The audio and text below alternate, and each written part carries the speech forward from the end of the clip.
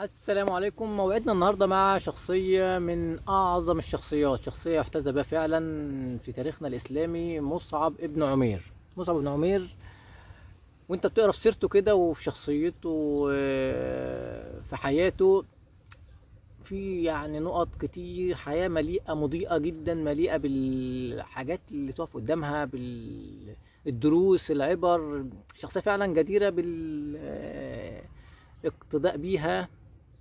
بداية من من نشأته نشأة مرفهة شخص منعم لدرجة إنه كان واخد لقب في مكة أعطر أهل مكة. يعني يعني في نعيم وفي وفي حياة فيها رفاهية ما فيهاش ضغوط في حاجة حسن الثياب المظهر يعني أنيق وسيم.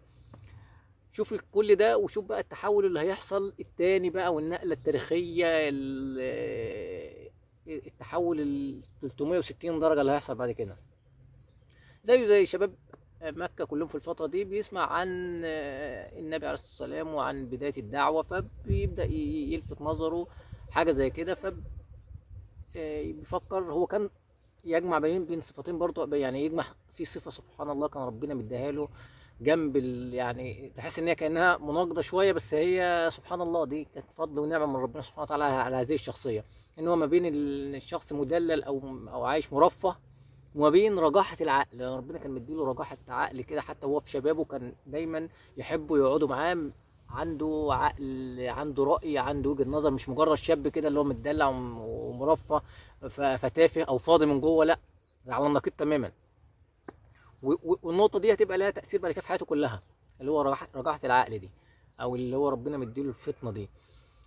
فبيروح وبيسأل ع- عن ال- النبي بيعرف إن طبعا النبي عليه الصلاة والسلام في بداية الدعوة كان العدد قليل قوي فكانوا بيبقوا موجودين في دار أبي الأرقم بيدعي عن الناس كلها وبتاع فبيعرف وبيروح وبيسأل وبالفعل بي بيقعد وبيسمع الكلام فبيلاقي الكلام سبحان الله عشان هو ربنا مديله رجاحة عقل وفي حكمة من ربنا سبحانه وتعالى إن الكلام يدخل قلبه كده فيبدأ يسمع يتدبر الآيات يتدبر القرآن يبدأ يعلن إن هو الكلام ده بالنسبة له بيغيره تماما من جواه فبيبدأ يعلن إسلامه. ولكن المأزق الكبير أمه لأن أمه كانت سيدة شديدة قوية جدا شخصية يعني مش شخصية سهلة كده إن أنت يعني تسمع الخبر وتعديه وبتاع لا شخصية مش سهلة على الإطلاق.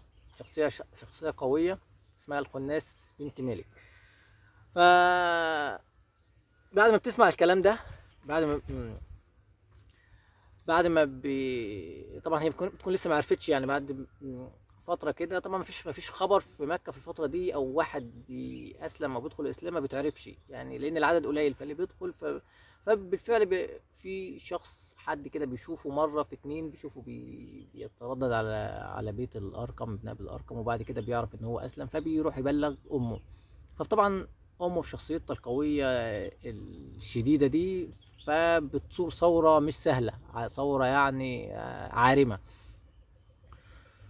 وبتواجهه وبتعمل بتاخد قرار. طبعا ان هي بتيجي حبساه قافلة عليه تماما خلاص كده. وبيبدأ بقى لحظة الانتقال في حياته بقى. الانتقال بقى من النعيم والترفيه والدلع وكل الكلام ده بيتنقل بقى 360 درجة لحياة تانية خالص. ويبدأ المواجهة بقى بينه وبين أمه ويبدأ الثورة. ف ففي هجرة من الهجرات لل- للحبشة. كان المسلمين بيهاجروا للحبشة في الوقت ده. فبيقدر يخلع كده يهرب كده وي- ويسافر ويه- ويهاجر معاهم. فبيرجع تاني طبعا بيسافر ويرجع مكة يسافر فبيرجع تاني فبتحبسه تاني وبتصور برضه ثورة عارمة فبتيجي في وقت من الأوقات بتقتنع إن هو خلاص مفيش حل معاه. فبتحرمه من كل شيء بقى خلاص هو كده بالنسبة لها بقى يعني حالة ميؤوس منها. وهو خلاص بي بي بيصر على الإيمان وخلاص الإيمان دخل قلبه فعلا بصدق ويعني يعني بمحبه للنبي عليه الصلاة والسلام ومحبة لله سبحانه وتعالى وربنا خلاص النور بقى دخل في قلبه. فبتحبسه تاني ومع ومع ذلك طبعا بي بي بيصر فخلاص بتودعه بقى ده الوداع الأخير بقى إن خلاص ما عادش فيه فايدة وإن هي كده غضبانة عليه بس هو بيبقى يعني عنده شفقة جواه ليها إن هو يعني خايف عليها وبيدعوها إن ربنا يهديها يعني للدين وللاسلام وللنور ربنا سبحانه وتعالى. فهي طبعا بيبقى إصرار فبيبقى في إصرار رهيب من الطرفين إن هي مصرة تماما على الشرك وهو مصر تماما على الدين وعلى طريق النبي عليه الصلاة والسلام وطريق الله سبحانه وتعالى. نبدا بعد كده مصعب بتاخد بقى حياته أشكال وألوان تانية خالص.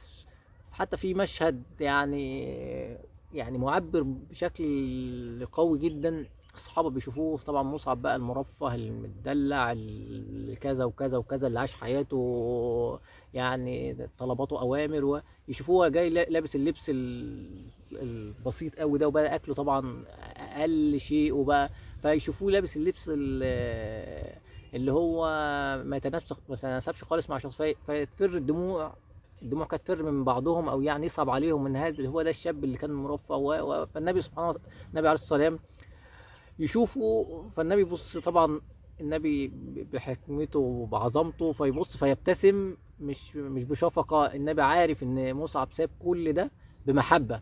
مصعب النبي عليه الصلاة والسلام شوف بقى النظرة المختلفة عن عن عنهم كلهم هم الصحابه عارفين بس هم يعني من حبهم ليه وبيقارنوا ما بين قبل كده وجواهم يعني فصعب عليهم جدا. النبي يبص بمحبة ويعرف إن مصعب ما سابش كل ده إلا محبة لله سبحانه وتعالى ومحبة للرسول عليه الصلاة والسلام. هذا الشاب الرائع الذي يحتذى به ويتحول كل هذا التحول. فالنبي يبص لملابسه البسيطة أو يعني المهلهلة دي. فالنبي يبتسم كده ان إن ده شخص الإيمان فعلا دخل جواه ده شخص فعلا الإخلاص وصدق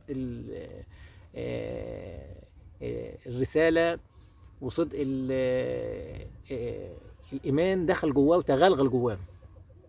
ويجي النبي يكلفه بعد كده بمهمة من أه يعني يعني تفرق كتير جدا في تاريخنا والإسلامي وكان لها دور كبير جدا إن يبقى السفير بعد كده يروح يبقى سفير في المدينة يروح يعلم بقى أهل المدينة عشان لما النبي يروح بعد كده في في الهجرة يكون بقى عندهم علم فبالفعل بيروح ويبدأ يعلمهم ويبدأ يفهمهم. ويشوف النبي عليه السلام برجاحة برضه العقل والفطنة والنور اللي ربنا حاطه له. يختار مين؟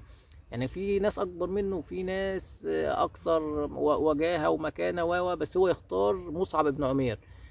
اختاروا ليه؟ عشان ربنا مديله رجاحة العقل وربنا مديله قبول وربنا مديله وده ده ما يقلش من اللي هو ما اختارهمش ولكن هو النبي اختاره عشان عارف عارف إن ده اختيار مش اختيار عادي. وبالفعل مصعب بيروح المدينة وبدا يكلم أهل المدينة وبيقابل من أهل المدينة بقى يعني عتاولة يعني أصحاب مكانة منهم سعد بن عبادة ومنهم سعد بن معاذ ويعني أسامي أسامي كبيرة جدا وتدخل بسبب نور ربنا سبحانه وتعالى و أو أو ثم دعوة مصعب بدخوله القلب بكلامه اللي كان يعني وأسلوبه ونقائه وإخلاصه وصدقه وزهده وورعه العظيم ده فيدخل كتير يامنوا ويدخلوا ويسلموا وفي بقى مشاهد كتيرة جدا يعني منها مشهد أسيد واحد اسمه أسيد ابن خضير ابن خضيرة على ما أتذكر اسمه كده يعني.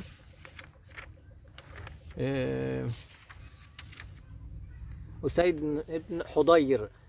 ده واحد يعني كان ده سيد بني عبد الأشهل. يعني كان واحد ليه مكانة وسيد من الناس التقيلة أوي. فمصعب طبعا هو بيدعو كده في في الأحياء بتاع المدينة.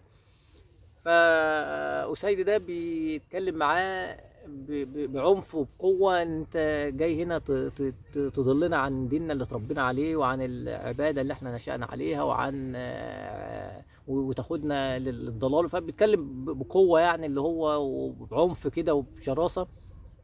فمصعب بمنتهى الهدوء ومنتهى النور اللي ربنا حطه في قلبه ومنتهى رجاحة العقل. بص بقى رجاحة العقل ده تفضل مكملة معاه ربنا اداله موهبة. وبناء عليه النبي عليه الصلاة والسلام اختاره برضه عشان رجاحة من ضمن الأسباب يعني عشان رجاحة العقل ده فبيقول له أنا هعرض عليك اللي أنا بقوله. إذا اقتنعت بيه أو خدت بيه أو أو دخل قلبك وكان بها وآمن. ما كانش يبقى وعد إن أنا أسيب الحي ده كله وهروح حي تاني من أحياء المدينة.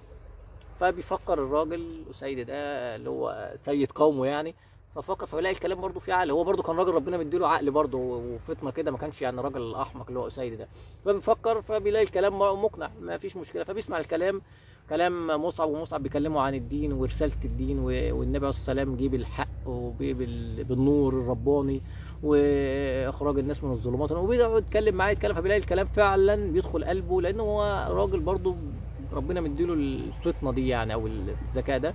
فبيقعد فبيدخل بي بي بيسأل آه، مصعب أعمل إيه طيب عشان فبيقول له أنت تتطهر وتشهد لا إله إلا الله محمد رسول الله وبالفعل بيدخل وبعد كده بيدخل زي ما قلنا بعديه آه، سعد بن معاذ وسعد بن عبادة ولما بتدخل الشخصيات العظيمة دي بتدخل بيدخل وراها ناس كتير وبيكون سبب هذا السفير العظيم بيكون سبب لدخول ناس كتير جدا لأنه راجل ربنا مديله نور زي ما قلنا.